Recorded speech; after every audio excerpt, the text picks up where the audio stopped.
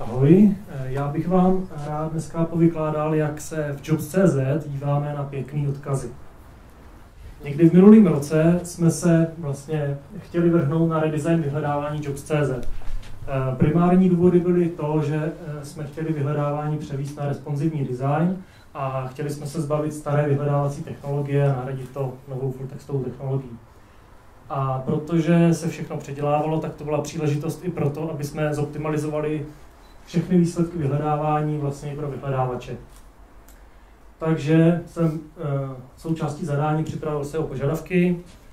Uh, vlastně upravil jsem uh, zadání pro pěkný URL, jak má vypadat titulky, jak, jaký jsou požadavky na nadpisy a různé elementy ve stránce a jak to bude propojené všechno v tom webu. A v rámci toho redesignu bych vás chtěl províst i vlastně obecně, eh, co by pěkný eh, URL měli obsahovat a jak by měly vypadat. Klasický URL vlastně eh, se může skládat až z tady těchto komponent. Protokol asi znáte všichni, HTTP, HTTPS. Možná znáte, že součástí URL může být i uživatelský jméno a uživatelský heslo. Následuje doména a port, který většinou se taky neuvádí a většinou je to 80. Eh, dále vlastně nějaká adresářová struktura, nějaký parametry a potom za křížkem jsou eh, parametry, které vyhledávače eh, nevidí, takzvaný fragment. Pod nějakým tím obec, pod tou obecnou definicí ještě vidíte, jak, jak to vypadá konkrétně. A kdyby vás to zajímalo podrobněji, jaký znaky nebo jaký odkazy jsou vyžadovaný, vlastně jaký požadavky jsou na ty odkazy, tak si můžete přečíst RFC, kde je vlastně popsaný, co je dovolený, jaký znaky tam můžou být, jaký znaky tam být nemůžou. Nejdůležitější část vlastně odkazu je doména. Redesignovali jsme Jobs.cz, takže e, z pohledu práce a z pohledu českého trhu to není úplně ideální doména jako práce.cz. Museli jsme teda e, to řešit nějakým jiným způsobem a ve vyhledávání e, původní adresy, kde bylo eh, posložka search, tak jsme nepřekládali do češtiny jako hledání, ale použili jsme vlastně kategorii a začlenili jsme tam slovo práce. Takže jsme si trošku pomohli, aby i doména jobs.cz vlastně vyjížděla na dotazy typu práce programátor a podobně. Eh, protokol, důležitá část eh, vlastně odkazu nyní už asi neexistuje žádný důvod, proč by všechny nově vznikající stránky neměly obsahovat HTTPS ve výchozím nastavení. Pokud potřebujete, eh, pokud chcete koupit certifikát, nemáte na to peníze, můžete využít Let's Script.org, který dává certifikáty zdarma. Aktuálně od nějakého konce března je vyřešená i podpora pro starý eh, Windowsy a starý Internet Explorery, která to třeba našeho pohledu ještě blokovala a ten přechod vlastně na HTTPS tomu eh, vlastně vám mohla bránit. A existující projekty už by taky neměly mít problém ani z pohledu vyhledávačů, protože seznam CZ vlastně od, od začátku dubna oznámil, že už taky s indexací HTTPS protokolu nemá problém, takže pokud chcete nějaký existující projekt převíst na zabezpečený protokol, tak stačí postupovat jako eh, v případě, že měníte odkaz a všechny eh, adresy jedna ku jedné přesměrujete z HTTP na HTTPS a přesměrujete to trvalým přesměrováním 301. Součástí domény je taky www prefix, který je potřeba se dívat z pohledu duplicit a neduplicit. Je dobrý se rozhodnout, jakou variantu, jestli chcete volit variantu bez www nebo z www. Eh, já doporučuji volit www, protože to má spoustu výhod i eh, běžné komunikaci na internetu, protože uživatel zaprvé to pozná, i neskušený uživatel, že jde o webovou adresu. Pokud jí nějaké komunikaci, ať už e-mailové nebo v diskuzní použije, nenapíše tam protokol, tak se může automaticky prolinkovat, takže získáte tím i zpětní odkazy a e, je dobrý, e, i když máte domény třetího řádu, jako máme na Jobsech, třeba IKEA Jobs.cz, tak neskušení uživatelé jsou schopní protože ví, že každá eh, webová adresa začíná na www, tak vám to, tam to www budou psát. Když už to nebude uživatel, tak to může být třeba zákazník, který prostě udělá ten web, on to vyzkouší, napíše www.ikeajobs.cz a web nefunguje. Takže je dobrý i myslet i vlastně na doménách třetího řádu na to, že www eh, podpoříte a přesměrujete to na jednu variantu, kterou preferujete. Subdomény eh, anebo domény třetího řádu doporučuji vytvářet jenom pro části webu, eh, který mají nějaký speciální význam a máte nějaký speciální důvod, proč to dělat bokem. Jinak doporučuji dávat všechno na do rootu domény www varianty nebo ne www varianty a pro domény třetího řádu Uh, musíte mít opravdu uh, dobrý důvod. Například, když chcete provozovat blog, používat nějakou externí americkou platformu a potřebujete tam nasměrovat doménu, uh, tak potřebujete doménu třetího řádu. Uděláte si blog doména.cz, přesměrujete to tam a to je ten trochu dobrý důvod na to mít doménu třetího řádu. Jinak ne. U nás na Jobsech používáme vlastně domény třetího řádu pro kariérní stránky firm, kde každá firma si u nás může vlastně vytvořit kariérní web, kde komunikuje s uchazečema a uh, uchazečema o práci, má tam nabídky práce a má to ve svém vlastním designu. Takže od Jobsů je to vlastně trošku oddělený pod web a tam je vhodná uh, ta varianta, kdy použít, nebo z mého pohledu, kdy použít vlastně tu doménu třetího řádu.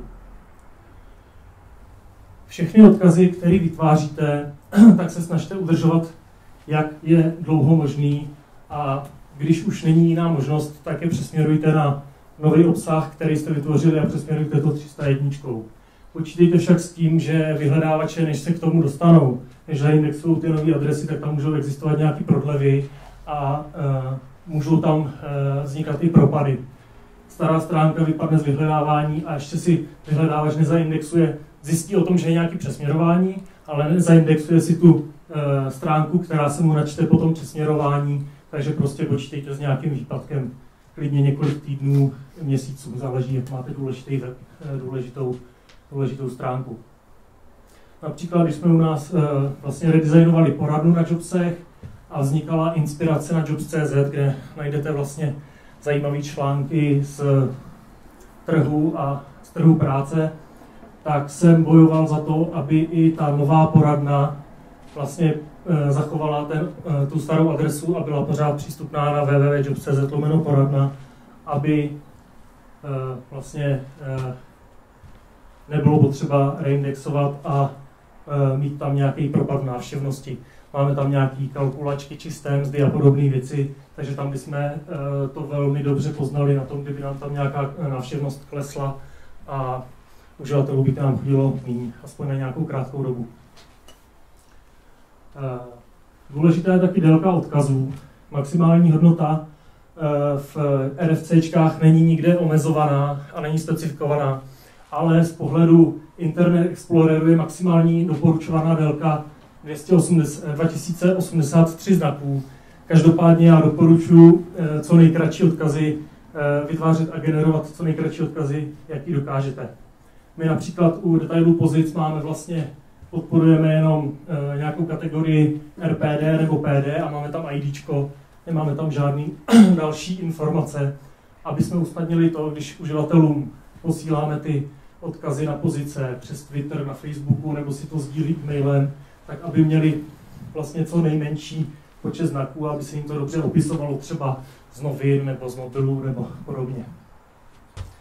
Podíval jsem se taky do Google Analytics, podíval jsem, vytáhl jsem si vlastně našich 10 000 stupní stránek, který eh, navštívil, nebo který dostalo návštěvnost eh, z organického vyhledávání na Jobsech a průměrná délka všech tady těch linků měla 63 znaků. Medián potom měl 54 znaků, takže to by mohlo odrážet moje doporučení, jak dlouhý mít ty odkazy, aby, abyste získávali dobrou návštěvnost a aby s tím vyhledávačem měli problém. Otázka? Nemělo by větší hodnotu, kdyby tam bylo klíčové slovo nějaký uh, popisující tu pozici, i když by to bylo delší? Určitě má hodnotu tam mít klíčové slovo, ale když tam bude jenom to klíčové slovo a žádné, žádné, jako žádný slova navíc, tak to bude lepší. Jo? Samozřejmě máme i další, uh, další linky, které mají víc slov, protože vlastně tam je redakční systém a podobně redaktoři píšou články, takže jsou tam i odkazy, které mají třeba 150-200 znaků, ale vlastně ti nejnavštěvovanější mají takovou průměrnou, průměrnou délku. Co se týká adresářů a souborů, který máte za tou doménou, tak je dobrý se eh, shodnout na tom, jestli používat pomlčky, potržítka nebo mezery Eh, doporučuji používat pomlčky, protože pomlčky jsou eh, taky jako jediný povolený znak v, v doménách. Takže jednotně vlastně s doménou, když máte doménu, která potřebuje pomlčku, máte to potom i v dalších adresářích a souborech. Potržítka je ještě jakž akceptovatelná, akceptovatelný oddělovač, ale mezery už bych nedoporučoval, protože ty se můžou vlastně enkódovat, podobně jako diakritika. Z mezery se vám v některých prohlížečích a některých vyhledávači to můžou chápat taky jako procento 20 a vznikají vám tam už trošku duplicity. A samozřejmě potom, eh, když máte link, který má v sobě zaenkodovaný nějaký speciální znaky a pošlete to nějakým uživateli, tak to není úplně ideální na to, aby ten uživatel na to třeba klikal, protože nedokáže zjistit, eh, co to je za odkaz prvního pohledu. Takže doporučuji všechny speciální znaky vyhodit, nechat jenom pomlčky, čísla písmena a zbytek nahradit pomlčkama a sjednotit vlastně uh, maximálně na jednu pomlčku. Stejně tak speciální znaky, jako jsou procenta, křížky, otazníky, jendítka a všechny možné věci. Je důležité taky říct, že vlastně cesta za doménou uh, je case sensitive a uh, záleží na velikosti písmen, doporučuji zase všechno malýma písmenama. Je dobrý se taky neuvázat na technologii, kterou používáte. Dneska už jsou vlastně frameworky, které vám generují pěkné odkazy. Není potřeba dávat přípony nebo nějaké další podobné věci, takže snažte se negenerovat nějak umyslně, že budete dávat lomeno index, PHP a podobně do těch odkazů, které tam píšete ručně. Další části adresy potom za otazníkem jsou parametry a fragment. U parametrů je důležitý eh, počítat s tím, že když už používáte více jak jeden parametr, tak je dobrý dbát na to, abyste zachovávali pořadí, protože jedna stránka, která má eh, jednou eh, parametry v jednom pořadí a v druhém pořadí, tak je pro vyhledávače se stejným obsahem, ale má jinou, jinou URL a tím si vlastně Eh, vytváříte zbytečně duplicity a berete uživatel eh, vyhledávači energii eh, z toho, co by mohl indexovat sám jinak. Fragmenty potom je dobrý používat v případě, pokud chcete linkovat v rámci stránky na kotvy. Pokud uvedete za mřížku nějaký ID, tak vám většina prohlížečů zaskroluje na ten element ve stránce.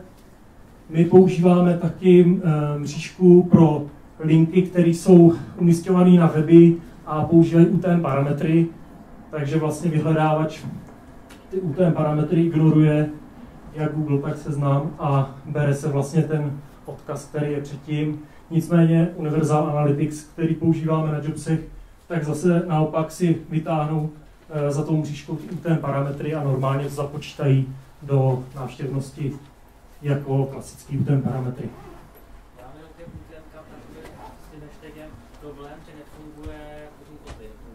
Nefunguje co? Uh, to je pravda. Nemůžete to kombinovat dohromady, když měříte UTM, tak pak uh, nefungují kotvy.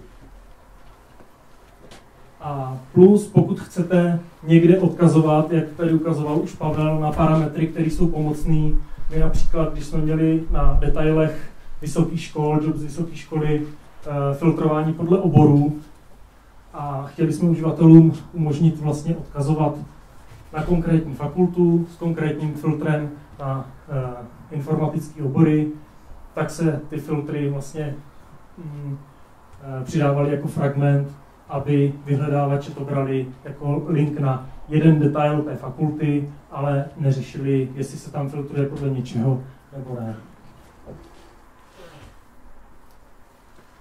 Na duplicity je dobrý se dívat, pokud za mnou přijde produkták a chce vytvářet nějaké stránky, které už na Jobsech máme, tak já se ho hnedka zeptám, a když potom já jako uživatel zadám programátor Praha, tak kam chceš, abych se já na tom webu dostal? Co chceš, aby se mi ukázalo z Jobsu jako výsledek? To pomáhá, když se podíváte eh, z pohledu hledajícího uživatele a uvědomíte si, kterou stránku byste chtěli, aby se vám v, tě, v tom vyhledávání na ten dotaz ukázala, tak pak jednoduše vysvětlíte tomu produktákovi uh, a ukážete vlastně, kde nastává ten problém a velmi rychle si ujasníte, že by ta uh, adresa měla být jenom jedna. Uh, parametry ve vyhledávání, kritéria, které jsme vlastně v tom redesignovaném vyhledávání dávali jako adresáře, ty důležitý, tak je důležité definovat pořadí a toho se držet.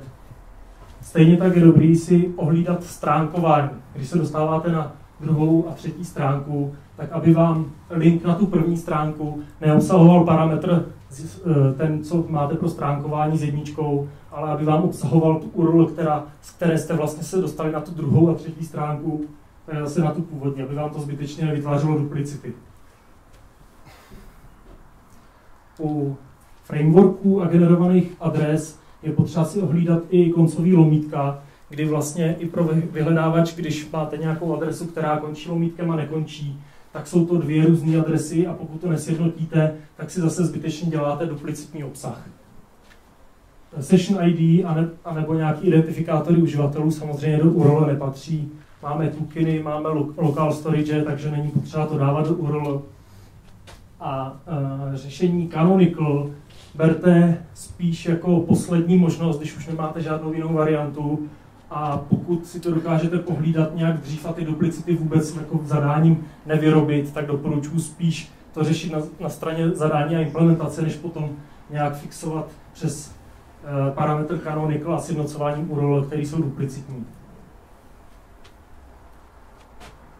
na jobs vyhledávání jsme vlastně vybrali několik důležit, nebo nejdůležitějších kritérií, který jsme potom eh, požadovali, no, který jsem požadoval, aby byly v adrese eh, s definovaným pořadí. Jako první za tou prací máme lokalitu, potom obor nebo profesi, anebo úvazek. Kaž, byl to trošku oříček pro programátory, protože jsem požadoval i to, že jakákoliv ta část může vlastně v URL být nepovinná. Takže může vzniknout i jobs.cz práce lomeno webdesigner, anebo jenom lomeno Praha. V případě, že se tam ty kritéria potom objevují víc za sebou, tak mají definovaný tohle pořadí a nesmí dojít vlastně k e, jeho e, změně. No a takhle potom, když jsme provedli někdy v srpnu, v září, jsme postupně nasazovali vlastně novou verzi vyhledávání, tak takovou to mělo návštěv, nebo takovýhle, takový to mělo vliv na zvýšení organického trafiku z vyhledávání na výsledky hledání na jobsech. Takže 96% nahoru šla návštěvnost vyhledávání na nový redesignovaný jobsy. Z pohledu odkazů je potom ještě dobrý zmínit několik nástrojů. Já ještě stále, protože mám Windowsí počítač, můžu používat Xenu eh, analyzátor linků, je to trošku oldschoolový nástroj, na Macu asi nevyužijete, ale mně to funguje a když je potřeba, tak ho rád ještě využiju. Pokud nemůžete, můžete použít Screaming Frog, který je online a je to placená služba, takže musíte vytáhnout kreditku. Eh, pokud nechcete vytahovat kreditku, ještě můžete použít Google Search konzole, dřív Webmaster Tools, a nebo ještě se podívat do Google Analytics, pokud máte nasazený, kde vidíte pěkně všechny URL, který vám vlastně na webu lítají a můžete si to ověřit taky. A to je za mě všechno.